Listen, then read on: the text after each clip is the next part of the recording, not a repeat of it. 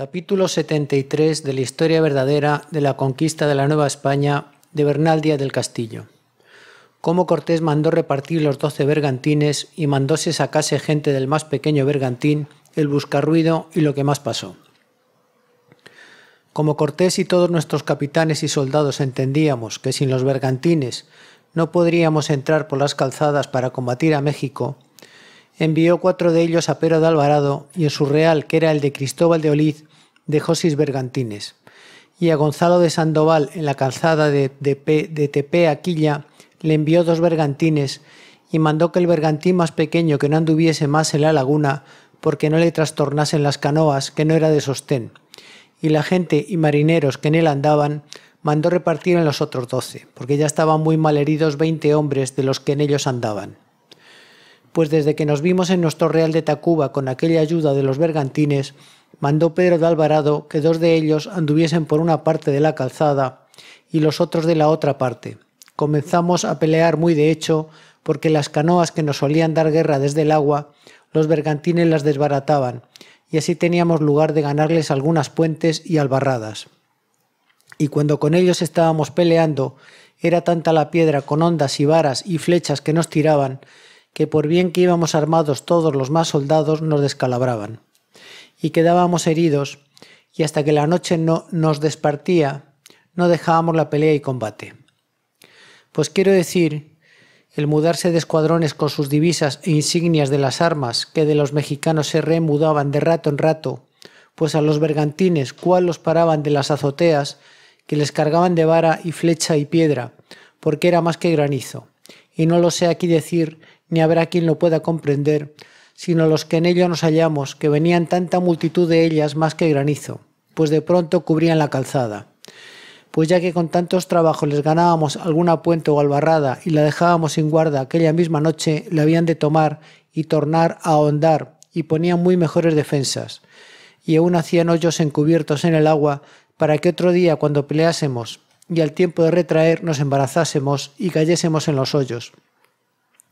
y pudiesen con sus canoas desbaratarnos, porque asimismo tenían aparejadas muchas canoas para ello, puestas en partes que no las viesen nuestros bergantines, para cuando nos tuviesen en aprieto en los hoyos, los unos por tierra y los otros en agua, dar con nosotros. Y para que nuestros bergantines no nos pudiesen venir a ayudar, tenían hechas muchas estacadas en el agua, encubiertas en partes, para que en ellas zabordasen.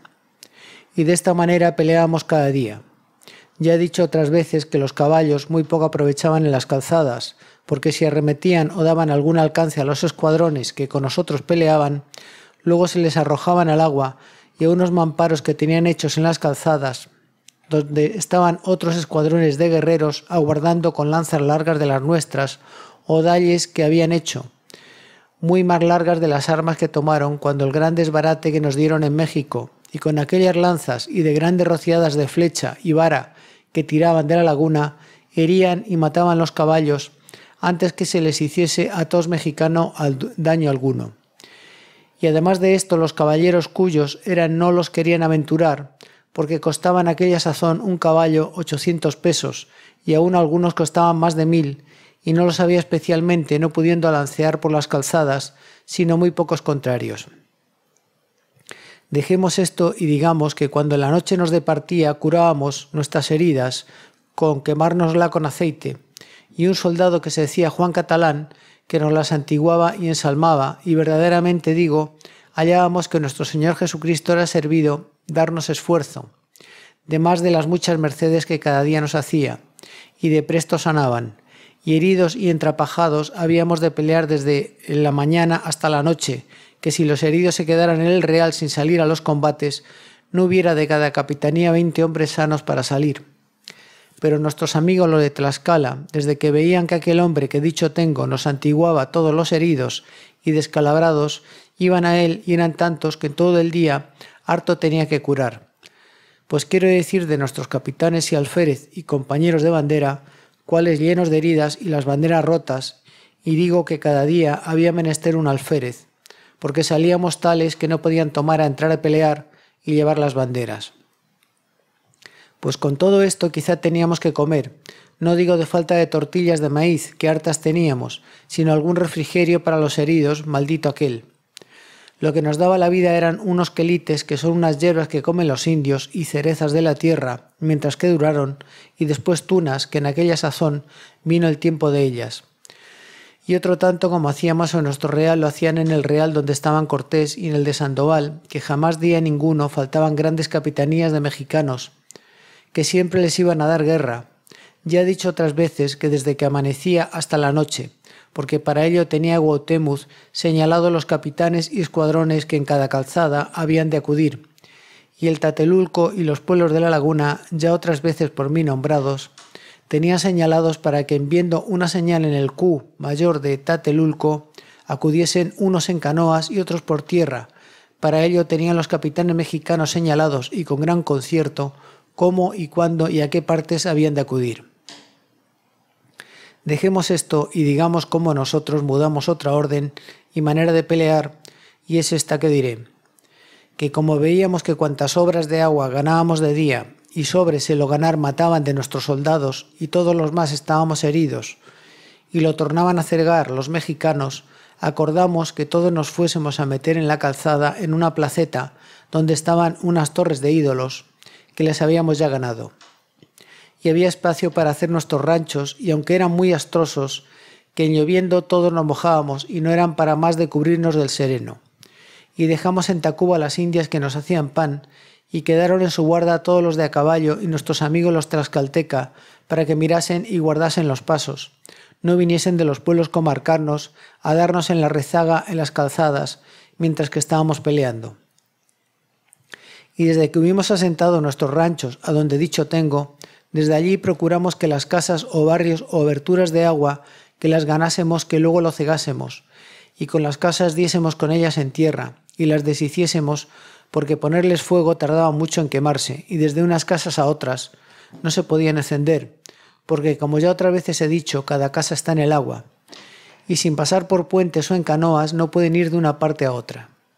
Porque si queríamos ir por el agua nadando, desde las azoteas que tenían nos hacían mucho mal, y derrocándoselas estábamos más seguros. Y cuando les ganábamos alguna albarrada o puente o paso malo donde ponía mucha resistencia, procurábamos de guardarla de día y de noche. Es de esta manera que todas nuestras capitanías velamos las noches juntas, y el concierto que para ello se dio, que tomaban la vela desde que anochecía hasta medianoche la primera capitanía, y eran sobre cuarenta soldados, y desde medianoche hasta dos horas antes que amaneciese tomaba la vela otra capitanía de otros cuarenta hombres, y no se iban del puesto los primeros que allí en el suelo dormíamos, y este cuarto es el de la modorra. Y luego venían otros cuarenta soldados y velaban el alba, que eran aquellos dos horas que había hasta el día. Y tampoco se habían de ir los que velaban la modorra, que allí habían de estar, por manera que cuando amanecía nos hallábamos velando sobre ciento y veinte soldados, todos juntos, y aún algunas noches cuando sentíamos mucho peligro, que desde que anochecía hasta que amanecía, todos estábamos juntos aguardando el gran ímpetu de los mexicanos. Con temor no nos rompiesen, porque teníamos aviso de unos capitanes mexicanos que en las batallas prendimos que Guatemuz tenía pensamiento y puesto en plática con sus capitanes que procurasen en una noche o de día romper por nosotros en nuestra calzada, y que venciéndonos por aquellas nuestras partes, que luego eran vencidas y desbaratadas las dos calzadas donde estaba Cortés y en la donde estaba Gonzalo de Sandoval. Y también tenía concertado que los nueve pueblos de la laguna y el mismo Tacuba y Escapuzalco y Tenayuca que se juntasen y que para el día que ellos quisiesen romper y dar en nosotros, que se diesen en las espaldas en la calzada, y que las indias que nos hacían pan que teníamos en Tacuba y fardaje, que las llevasen de vuelo una noche. Y como esto alcanzamos a saber, apercibimos a los de a caballo que estaban en Tacuba que toda la noche velasen y estuviesen alerta, y también nuestros amigos los tlaxcaltecas. Y así como Guautémulo tenía concertado lo puso la obra, que vinieron grandes escuadrones. Unas noches nos venían a romper y dar guerra a medianoche, y otras a la modorra, y otras al cuarto del alba, y venían algunas veces sin hacer rumor, y otras con grandes alaridos y silbos. Y cuando llegaban a donde estábamos velando, la vara y piedra y flecha que tiraban, y otros muchos con lanzas, y puesto que querían alguno de nosotros, como lo resistimos, volvían muchos heridos, y otros muchos guerreros que vinieron a dar en nuestro fardaje, los de a caballo y tlascaltecas, los desbarataron. porque como era de noche no aguardaba mucho, y de esta manera que he dicho velábamos que ni porque lloviese, ni vientos, ni fríos, y aunque estábamos metidos en medio de grandes lodos y heridos, allí habíamos de estar, y aun esa miseria de tortillas y hierbas que habíamos de comer o tunas sobre la obra del batallar, como dicen los oficiales, había de ser. Pues con todos estos recaudos que poníamos, nos tornaban a abrir la puente o calzada que les habíamos ganado, que no se les podía defender de noche que no lo hiciesen, y otro día se la tornábamos a ganar y cegar, y ellos a tornarla a abrir y hacer más fuerte como amparos, hasta que los mexicanos mudaron otra manera de pelear, la cual diré en su coyuntura. Y dejemos de hablar en tantas batallas, y cómo cada día teníamos, y otro tanto en el Real de Cortés y el de Sandoval, y digamos que qué aprovechaba haberles quitado el agua de Chapultepec, ni menos aprovechaba haberles vedado que por las tres calzadas no les entrase bastimento, ni agua, ni tampoco aprovechaba nuestros bergantines, estándose en nuestros reales, no sirviendo más de cuando peleábamos hacernos espaldas de los guerreros de las canoas y de los que peleaban de las azoteas. Porque los mexicanos metían mucha agua y bastimentos de los nueve pueblos que estaban poblados en el agua, porque en canoas les proveían de noche y de otros pueblos sus amigos de maíz y gallinas y todo lo que querían. Y para evitar que no les entrase esto, fue acordado por todos los tres reales que dos bergantines anduviesen de noche por la laguna a dar caza a las canoas que venían cargadas con bastimentos, y todas las canoas que se pudiese quebrar o traer a nuestros reales que se les tomase. Y hecho este concierto fue bueno, puesto que para pelear y guardarnos hacían falta de noche los dichos bergantines, mas hicieron mucho provecho en quitar que no entrasen bastimentos y agua, y aun con todo esto no dejaban de ir muchas canoas cargadas de ello. Y como los mexicanos andaban descuidados en sus canoas metiendo bastimento, no había día que no traían los bergantines que andaban en su busca, presa de canoas y muchos indios colgados de las centenas. Dejemos esto y digamos, y digamos el ardiz que los mexicanos tuvieron para tomar nuestros bergantines y matar los que en ellos andaban. Es de esta manera que, como he dicho, cada noche y en las mañanas les iban a buscar por la laguna sus canoas y las trastornaban como los bergantines y prendían muchas de ellas. Acordaron de armar treinta piraguas, que son canoas muy grandes, con muy buenos remeros y guerreros, y de noche se metieron todas treinta entre unos carrizales, en parte que los bergantines no las pudiesen ver. Y cubiertas de ramas. Echaban de antenoche dos o tres canoas, como que llevaban bastimentos, o metían agua, y con buenos remeros, y en parte que les parecía a los mexicanos que los bergantines habían de correr cuando con ellos peleasen, habían hincado muchos maderos gruesos hechos estacadas para que en ellos abordasen, pues como iban las canoas por la laguna, mostrando señal de temerosos, arrimadas a los carrizales, salen dos de nuestros bergantines tras ellas, y las dos canoas hacen que se van retrayendo a tierra, a la parte que estaban las treinta piraguas en celada y los bergantines siguiéndolos. Y ya que llegaban a la celada, salen todas las piraguas juntas y dan tras los bergantines, que de presto hirieron a todos los soldados y remeros y capitanes, y no podían ir a una parte ni a otra, porque las estacadas que les tenían puestas, por manera que mataron al un capitán que se decía fulano de Portilla, gentil soldado que había sido en Italia,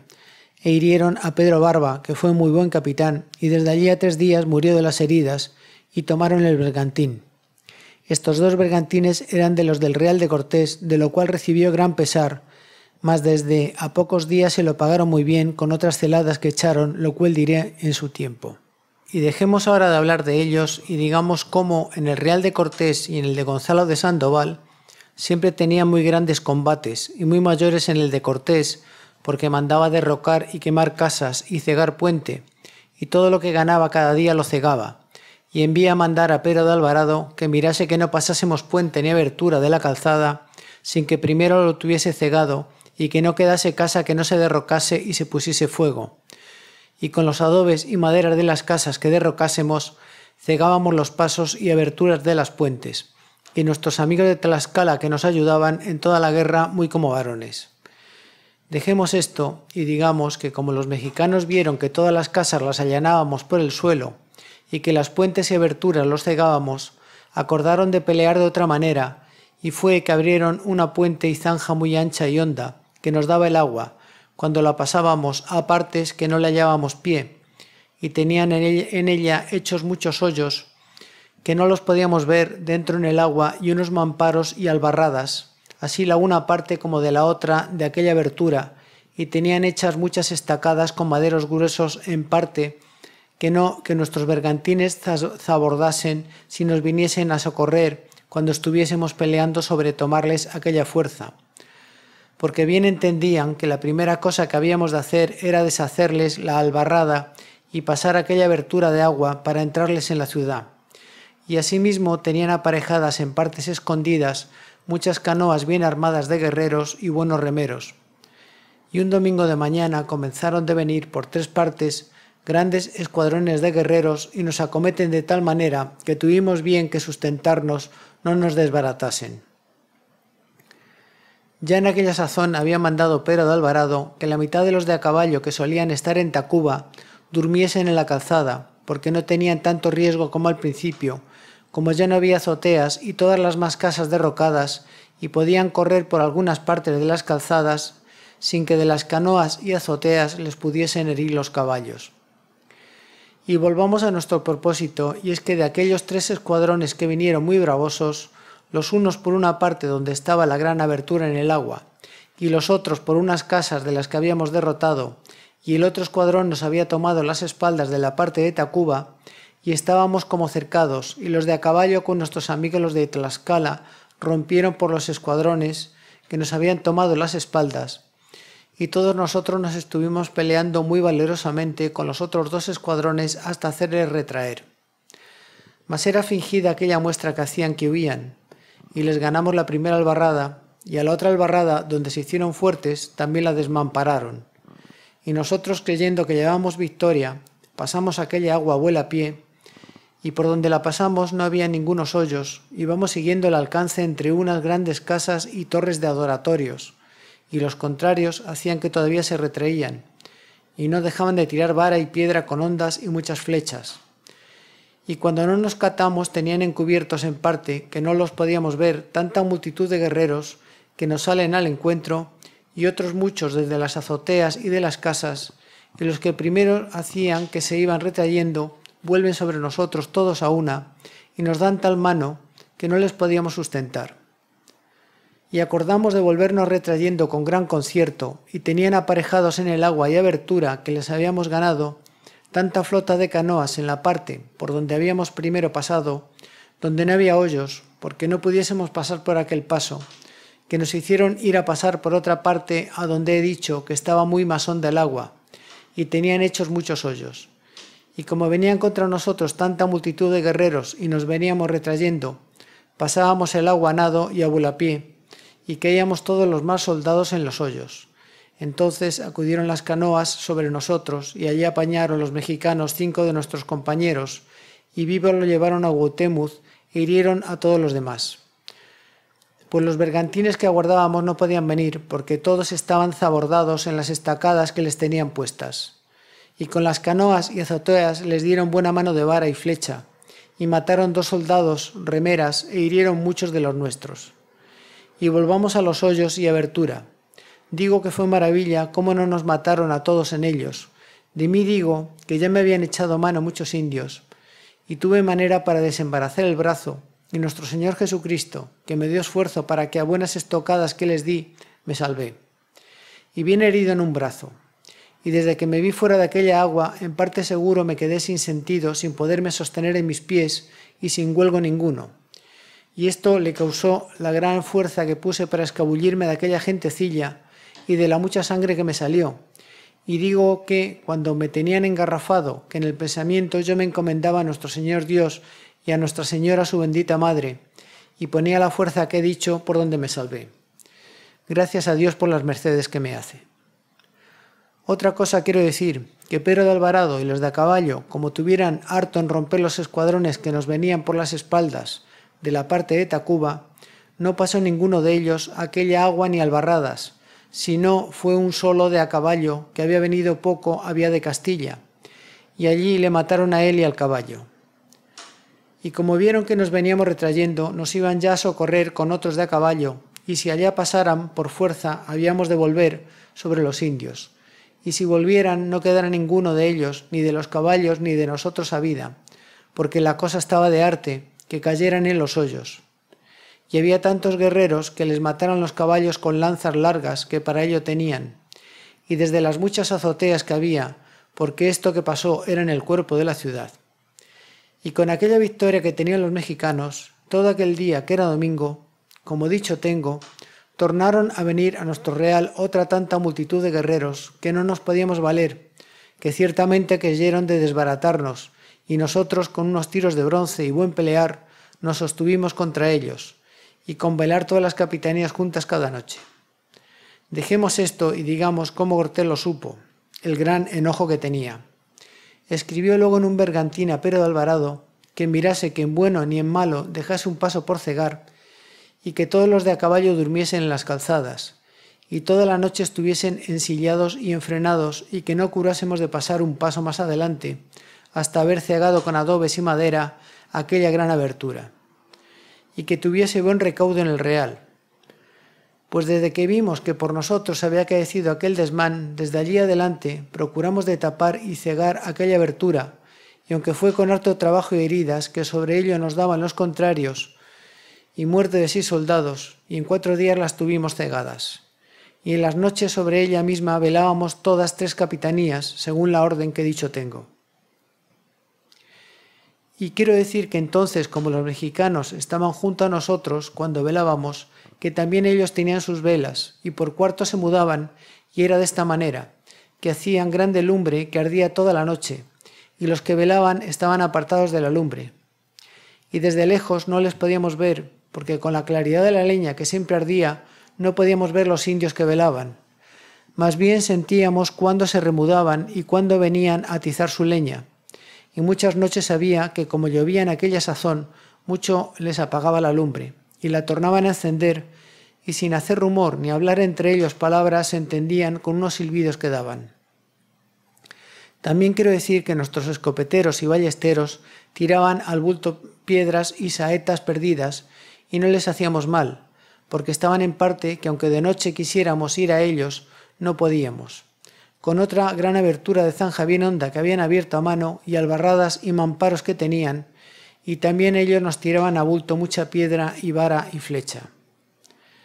Dejemos de hablar de estas velas y digamos cómo cada día íbamos por nuestra calzada adelante peleando con muy buen concierto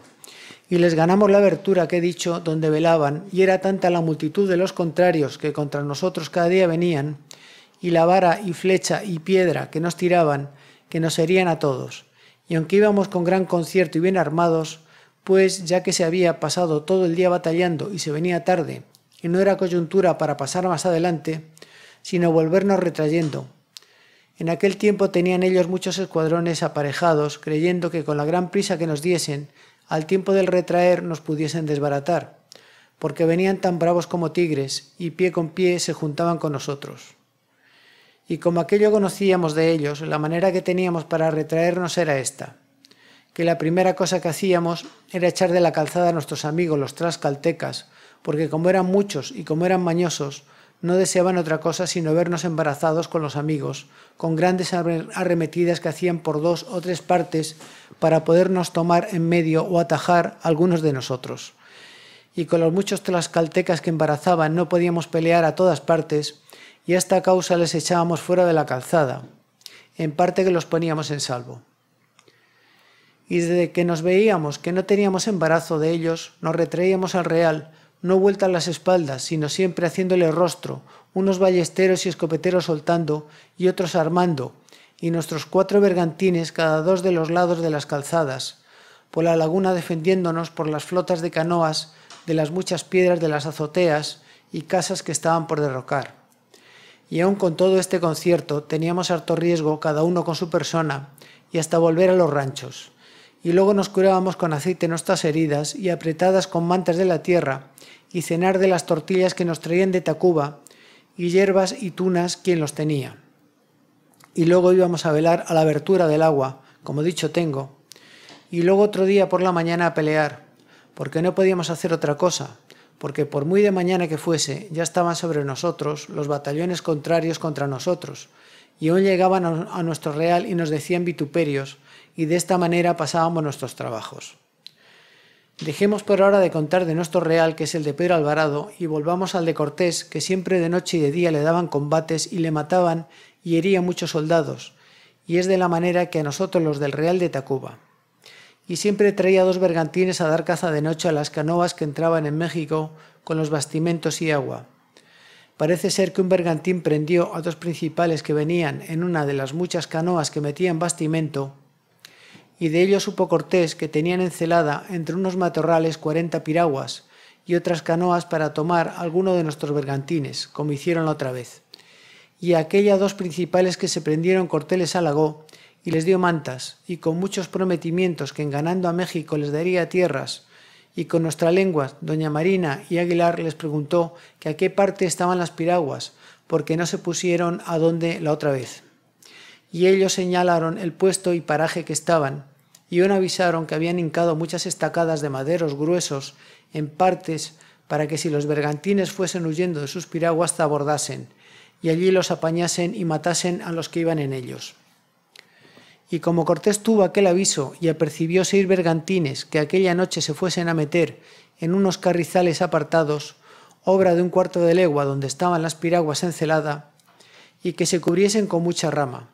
y fueron a remo callado y estuvieron toda la noche guardando, y otro día muy de mañana mandó Cortés que fuese un bergantín como que iba a dar caza a las canoas que entraban con bastimento,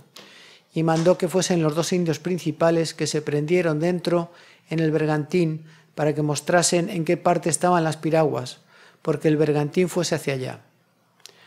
Asimismo, los mexicanos, nuestros contrarios, concertaron de echar dos canoas echadizas, como la otra vez, a donde estaba su celada, como que traían bastimento para que cebase el bergantín en ir tras ellas, por manera que ellos tenían un pensamiento y los nuestros otro como el suyo de la misma manera. Y como el bergantín que echó Cortés disimulando vio a las canoas que echaron los indios para cebar el bergantín,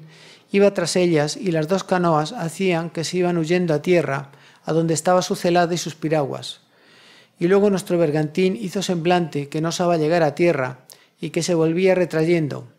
y desde que las piraguas y otras muchas canoas le vieron que se volvía, salen tras él con gran furia y reman todo lo que podían y le iban siguiendo. Y el bergantín se iba como huyendo donde estaban los otros seis bergantines en celada, y todavía las piraguas siguiéndole. Y en aquel instante soltaron una escopeta, que era la señal cuando habían de salir nuestros bergantines. Y desde que oyeron la señal, salen con gran ímpetu y dieron sobre las piraguas y canoas, que trastornaron y mataron y prendieron muchos guerreros, y también el bergantín que echásemos en celada, que iba ya algo a lo largo. Vuelve a ayudar a sus compañeros por manera que se llevó buena presa de prisioneros y canoas, y desde allí adelante no osaban los mexicanos echar más celadas, ni se atrevían a meter bastimentos, ni agua tan a ojos vistas como solían. Y de esta manera pasaba la guerra de los bergantines en la laguna y nuestras batallas en las calzadas. Y digamos ahora cómo vieron los pueblos que estaban en la laguna poblados, que ya los he nombrado otras veces, que cada día teníamos victoria, así por el agua como por tierra, y vieron, venían en nuestra amistad, así los de Chalco y Tezcuco y Tlaxcala y otras poblazones, y con todos los hacíamos mucha guerra y mal daño a sus pueblos, y les cautivábamos muchos indios e indias. Parece ser se juntaron todos y acordaron de venir de paz ante Cortés, y con mucha humildad le demandaron perdón si en algo nos habían enojado y dijeron que eran mandados y que no podían hacer otra cosa. Y Cortés holgó mucho de verlos venir en aquella manera, y aún desde que lo supimos en nuestro real de Pedro de Alvarado y el de Sandoval, nos alegramos todos los soldados. Volviendo a nuestra plática, Cortés, con buen semblante y con muchos halagos, les perdonó y les dijo que eran dignos de gran castigo por haber ayudado a los mexicanos. Y los pueblos que vinieron fueron Itapalapa, Vichilobusco, Culhuacán y Mezquique, y todos los de la laguna y agua dulce. Y les dijo Cortés que no habíamos de alzar real hasta que los mexicanos viniesen de paz o por guerra los acabase, y les mandó que en todo nos ayudasen con todas las canoas que tuviesen para combatir a México, y que viniesen a hacer sus ranchos de Cortés y trajesen comida, lo cual dijeron que así lo harían. E hicieron los ranchos de Cortés y no traían comida sino muy poca y de mala gana. Nuestros ranchos donde estaba Pedro de Alvarado nunca se hicieron, que así nos estábamos al agua, porque ya saben los que en esta tierra han estado, que por junio, julio y agosto son en estas partes cotidianamente las aguas. Dejemos esto y volvamos a nuestra calzada y a los combates que cada día dábamos a los mexicanos, y cómo les íbamos ganando muchas torres de ídolos y casas y otras aberturas, y zanjas y puentes que de casa a casa tenían hechos, y todo lo cegábamos con adobes, y la madera de las casas que deshacíamos y derrocábamos. Y aún sobre ellas velábamos, y aún con toda esa diligencia que poníamos, lo tornaron a ahondar y a ensanchar y ponían más albarradas. Y porque entre todas nuestras tres capitanías, teníamos por deshonra que unos batallásemos e hiciésemos rostro a los escuadrones mexicanos, y otros estuviesen cegando los pasos y aberturas y puentes, y por excusar diferencias sobre los que habíamos de batallar o cegar aberturas, mandó Pedro de Alvarado que una capitanía tuviese cargo de cegar y entender en la obra en un día, y las otras dos capitanías batallasen y hiciesen rostro contra los enemigos. Y esto había de ser por rueda, un día unos y luego otro día otra capitanía, hasta que por todas tres capitanías volviese la andanada de rueda. Con esta orden no quedaba otra cosa que les ganábamos que no dábamos con ella en el suelo, y nuestros amigos los tlaxcaltecas que nos ayudaban. Y así les íbamos entrando en su ciudad más al tiempo de retraer todas tres capitanías, habíamos de pelear juntos, porque entonces era donde corríamos mucho peligro, y con otra, y con otra vez he dicho, primero hacíamos salir de las calzadas todos los tlaxcaltecas, porque cierto era demasiado embarazo para cuando peleábamos. Dejemos de hablar de nuestro real y volvamos al de Cortés, al de Sandoval, que la cortina, así de día como de noche, tenía sobre sí muchos contrarios por tierra y flotas de canoas por la laguna, y siempre les daban guerra y no les podían apartar de sí, pues en lo de Cortés, por ganarles una puente y abra muy honda y era mala de ganar, y, en ella tenía los mexicanos muchos mamparos y albarradas, que no se podían pasar sino a nado, y ya que se pusiesen a pasarla, estabanle aguardando muchos guerreros con flechas y piedras con ondas, y varas y macanas, y espadas de a dos manos, y lanzas hechas como dalles y engastadas de las espadas que nos tomaron, y la laguna llena de canoas de guerra. Había junto a las albarradas muchas azoteas, y de ellas le daban muchas pedradas, y los bergantines no les podían ayudar por las estacadas que tenían puestas,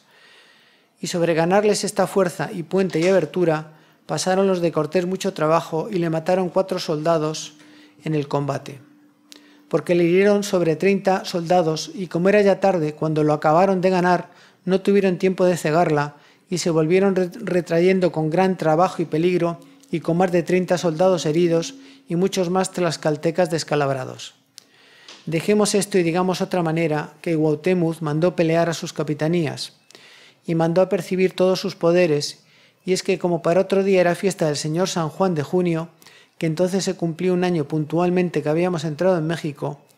cuando el socorro de Pero de Alvarado y nos desbarataron, según dicho tengo en el capítulo que de ello habla, parece ser tenían en cuenta de ello. Outemuz mandó que en todos los tres reales nos diesen toda la guerra con la mayor fuerza que pudiesen, con todos sus poderes, así por tierra como con las canoas por el agua, y manda que fuese de noche al cuarto de la modorra, y porque los bergantines no nos pudiesen ayudar, en todas las más partes del lago de la laguna tenían hechas estacadas para que en ellas abordasen. Y vinieron con tanta furia e ímpetu que si no fuera por los que velábamos juntos, que éramos sobre 120 soldados, y acostumbrados a pelear, nos entraran en el real y corríamos harto riesgo y con gran concierto le resistimos y allí hirieron a quince de los nuestros y dos murieron de ahí a ocho días de las heridas. Pues en el Real de Cortés también les pusieron en gran aprieto y trabajo, y hubo muchos muertos y heridos, y en lo de Sandoval por el consiguiente. Y de esta manera vinieron dos noches a reo, y también en aquellos reencuentros quedaron muchos mexicanos muertos y muchos más heridos. Y como Gautemuz y sus capitanes y papas vieron que no aprovechaba nada la guerra que dieron aquellas dos noches, acordaron que con todos sus poderes juntos viniesen al cuarto del alba y diesen en nuestro real, que se dice el de Tacuba. Y vinieron tan bravosos que nos cercaron por dos partes y aún nos tenían medio desbaratados y atajados.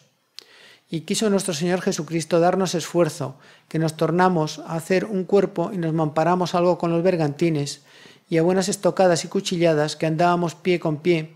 les apartamos algo de nosotros, y los de caballo no estaban de balde, por los ballesteros y escopeteros hacían lo que podían, que harto tuvieron que romper en otros escuadrones, que ya nos tenían tomadas las espaldas. Y en aquella batalla mataron a ocho, hirieron muchos de nuestros soldados, y a un apero de Alvarado le descalabraron.